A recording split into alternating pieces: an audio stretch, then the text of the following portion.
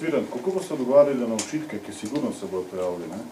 da v bistvu bi to, to, kar smo zdaj spremljali, ne vem, tri tedne, nepotreben teater in da v bistvu odločitev vaša in stranke, da pač ne gre z Jankovičev koalicijo za dolgo znana, ne? Pri vas osebno, ali pa še pri komu ožem vodstvu stranke, da je bilo to v bistvu vse skupaj le nepotrebno, ne?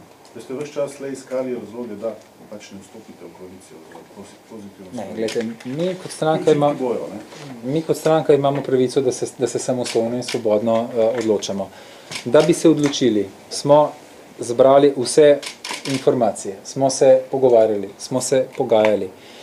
Uh, pogajalci so upravili veliko dela in danes svetu predstavili svoje stališče, vsa, vsa besedila, vse potrebne podatke, vse potrebne inpute za odločanje in svet je sprejel odločitev, kakršno je. Moram posebej podariti, da kljub prepričanju, ki, ki morda vlada, eh, državljanska lista ni niti za eno minuto zavlekla oblikovanja vlade. Namreč eh, prva poteza, ki jo je potegnil predsednik republike, je bila pred- predlog za mandatarja. Mi smo se o tem predlogu danes na svetu odločili, sprejeli smo svojo odločitev in to je to. Ne, ni, naša ni zdaj naša odgovornost, kdaj bo vlada sestavljena. To je predvsem v, ta, odgo- ta odgovornost je porazdeljena skladno, skladno z volilnim izidom in mi imamo v parlamentu 8 glasov. Nekaterih imajo pa 28 ali pa 26.